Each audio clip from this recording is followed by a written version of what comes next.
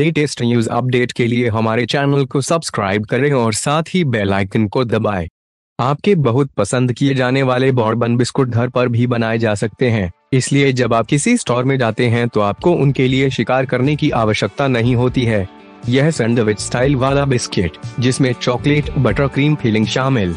आपके बहुत पसंद किए जाने वाले बॉर्बन बिस्कुट घर पर भी बनाए जा सकते हैं। इसलिए जब आप किसी स्टोर में जाते हैं तो आपको उनके लिए शिकार करने की आवश्यकता नहीं होती है।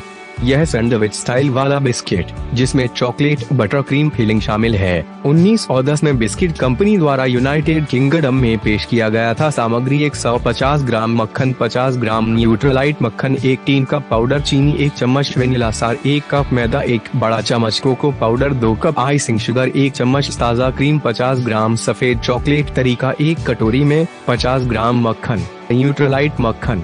पाउडर, चीनी और वेनिला एसेंस डालें और अच्छी तरह से फेंटें इसके लिए। आटा और एक बड़ा चम्मच कोको पाउडर डालें और आटा बनाने के लिए मिलाएँ।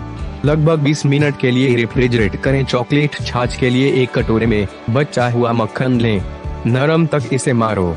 आइसिंग शुगर डालें और अच्छी तरह मिलाएँ। बचा हुआ कोको पाउडर डालें और अच्छी तरह से फेंटें। अब इसमें ताजी क्रीम और व्हाइट चॉकलेट डालें और इसे स्पैटुला के साथ अच्छी तरह मिलाएँ। 15 मिनट के लिए फ्रिज में रखें। बिस्कुट के लिए आटा को रोल करने के लिए आटे के साथ एक सतह को धुल दें। पहले आटा को प्लास्टिक की चादर से ढक दें और फिर इसे करें आटे को चौक और टुकड़ों में काटें।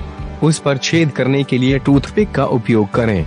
शीर्ष पर चीनी क्रिस्टल छिड़के कटे हुए आटे को 180 डिग्री पर लगभग 10 से 12 मिनट तक बेक करें। चॉकलेट क्रीम को एक पाइपिंग बैग में स्थानांतरित करें और बिस्किट के ऊपर एक परत जोड़ने के लिए इसका उपयोग करें।